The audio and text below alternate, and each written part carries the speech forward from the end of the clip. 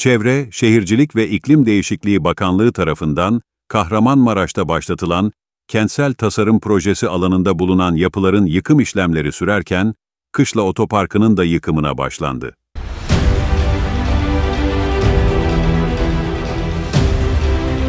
6 Şubat depremlerinin merkez üssü, Kahramanmaraş'ın imarı ve inşası noktasında altyapıdan ulaşıma, üst yapıdan sosyal tesislere, yeşil alanlardan sağlık komplekslerine, tüm alanlarda çalışmalar hummalı bir şekilde devam ederken, Çevre, Şehircilik ve İklim Değişikliği Bakanlığı tarafından şehir merkezinde başlatılan kentsel tasarım projesi de hızla ilerliyor.